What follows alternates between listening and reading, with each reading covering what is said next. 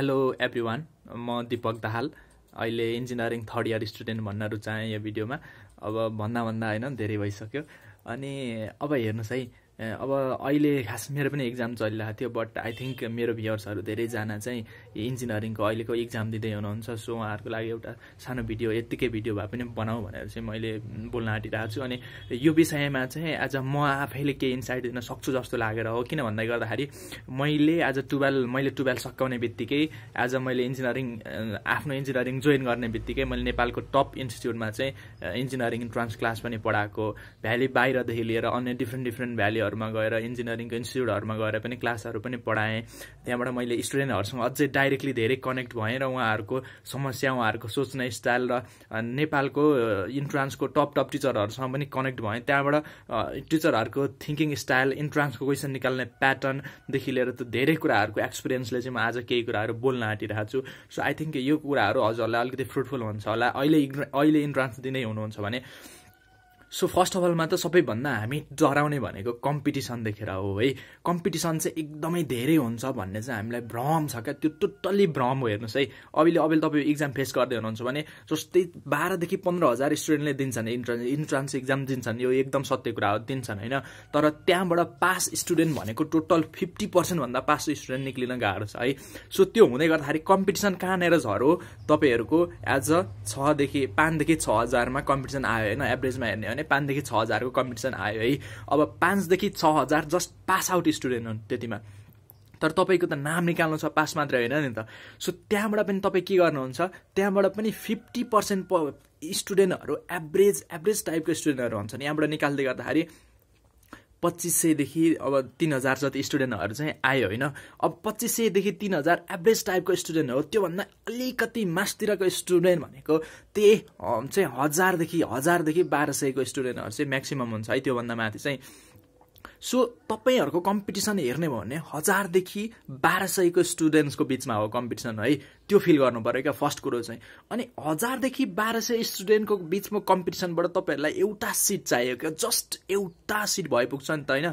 So त्यो target बनाएर exam दिन जाँदै गर्दाखेरि मेरो हजारदेखि बाह्र सय स्टुडेन्ट्ससँगको कम्पिटिसन हो र त्यहाँबाट मलाई एउटा सिट चाहिएको भन्ने माइन्ड सेट लिएर जानु होइन? फर्स्ट कुरो चाहिँ है? अनि तपाईँहरूलाई म एउटा कुरो चाहिँ एकदमै honestly to be honest feel सहित मनैदेखि भन्छु होइन? गफ दिएको होइन? होइन? सिरियसली मेरो आँखामा पनि देख्न सक्नुहुन्छ यो सिरियसनेस। के छ भन्नुहुन्छ भने यदि तपाईँले आफ्नो नाम निस्किँदैन भनेर भन्नुहुन्छ भने टु बी अनेस्ट लेखेर दिन्छु होइन? तपाईँको नाम निस्किने चान्स एकदम कम हुन्छ क्या? एकदमै कम हुन्छ।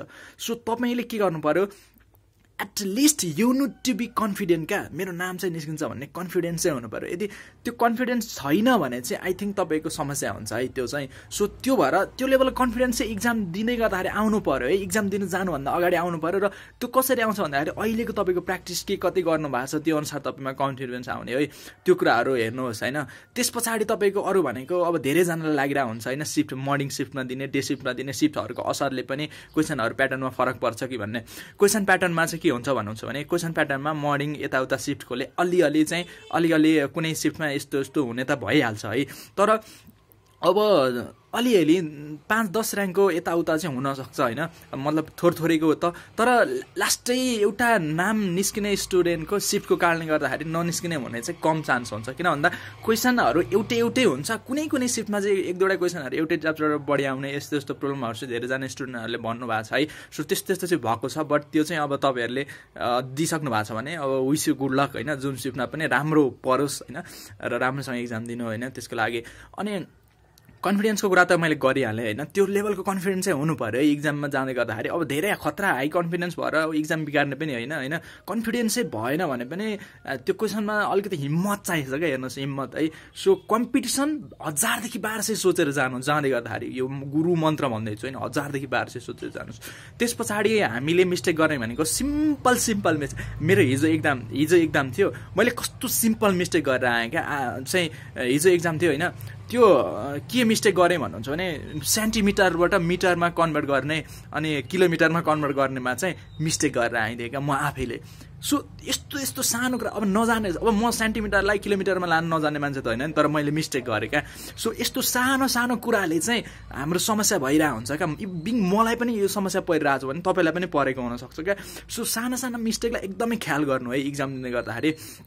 सो त्यो साना साना मिस्टेकहरू क्यालकुलेसन फर्मुलाहरू एकदमै ख्याल गर्नु जसले गर्दाखेरि चाहिँ तपाईँहरूलाई त्यसमा मिस्टेक नहोस् होइन? त्यसले चाहिँ दस पाँचदेखि दस मार्क्स बच्छ क्या। यदि तपाईँले राम्रोसँग क्यालकुलेसन गर्नुभयो राम्रोसँग फर्मुलाहरू चाहिँ राम्रोसँग बुझेर लाउनु भयो लागेका फर्मुलाहरू मिस्टेक ल्याउनु भएन भने त्यहाँबाट तपाईँलाई पाँचदेखि दस मार्क्स आउँछ र पाँचदेखि दस मार्क्स भनेको अराउन्ड पचास ऱ्याङ्कको हाराहारी हुन्छ है पचास ऱ्याङ्कको तलमाथि हुन्छ। सो पचास ऱ्याङ्कको डिफ्रेन्स हुन्छ है। सो यो कुराले पनि अनि अर्को कुरो भनेको अहिले जति पढ्नु भएको छ होइन ठिक छ पढ्नुभयो। अब रिभाइज गर्नु क्या नोट्सहरू रिभाइज गर्न थाल्नु बनाउनु भएको होला। सोधेका क्वेसनहरू कति ट्याकल गर्नुभएको होला त्यसको रिभाइज गर्नुहोस्। अनि जस्तै इम्पोर्टेन्ट इम्पोर्टेन्ट भन्दा पनि सबै हेर्नुहोस् क्या। जस्तै सिम्पल सिम्पल कुराहरू ल सेमी कन्डक्टर अथवा ल एनटाइप सेमी कन्डक्टरमा के मेजोरिटी हुन्छ पी टाइपमा के इक्जाम्पलको लागि भनेको होइन म जस्ट माइन्डमा आइहाल्यो सो यस्ता साना साना कुराहरू पनि हामी कतिपयलाई थाहा हुँदैन तर यस्तो यस्ता क्वेसनहरू सोधिरहेको छन्। पहिला अहिलेसम्म तपाईँले जति क्वेसन प्र्याक्टिस गर्नुभएको छ नि त्योभन्दा इजी क्वेसन सोध्छ है। त्यति धेरै हार्ड क्वेसन हुँदैन त्योभन्दा इजी क्वेसन हुन्छ। तर त्यसमा चाहिँ अलिकति कुनै कुनै कुराहरू कन्सेप्चुअल बढी हालिदिएको पनि हुन्छ। अनि त्यो अलिकति कन्सेप्चुअल अलिकति एक दुईवटा हाई क्वेसनले चाहिँ एज अ टपर छुट्याउने भनेको चाहिँ त्यस्तो क्वेसनले हो क्या। कसले ऱ्याङ्क माथि ल्याउने? ऱ्याङ्क वान टूदेखि लिएर माथिको ऱ्याङ्क छुट्याउनको लागि त्यस्ता खालका क्वेसनहरू पनि हुन्छन् होइन? सो तर एटलिस्ट एभरेज क्वेसन भन्दा जतिको क्वेसनहरू मिलाउनु भयो भने तपाईँको नाम निस्किन्छ क्या। तपाईँको नाम निस्किन्छ होइन? अनि पहिलाको भन्दा सिम्पल हुन्छ। नाचिदिनु एकदम कुलसँग दिनु। मैले फेरि पनि भने जाँदै गर्दाखेरि चाहिँ मन यहाँ मनले भन्छ नि होइन ल निस्किन्छ भन्ने छ भने चाहिँ तपाईँको निस्किन्छ होइन। तर मनले अलिअलि भन्छ भने चाहिँ गाह्रो पर्छ हेर्नुहोस् है। सत्य कुरा हो मैले देखेको मैले फिल गरेको मैले यो चार तिन वर्षको अराउन्डमा मेरो एक्सपिरियन्स बोलिरहेको छु होइन। सो त्यो कुरा चाहिँ फिल गर्नु होला। अनि अब नातिकन एक्जाम दिनु होला साना साना कुराहरूलाई ख्याल गर्नु होला होइन। अनि जति पढ्नु भएको छ नआत्तिनुहोस् जे पढेको छ त्यही कुराहरूलाई तपाईँले नपढेको कुरा पनि त्यहाँ सोध्छ तपाईँकै सिटमा सोध्छ भने भन्ने त छैन नि होइन?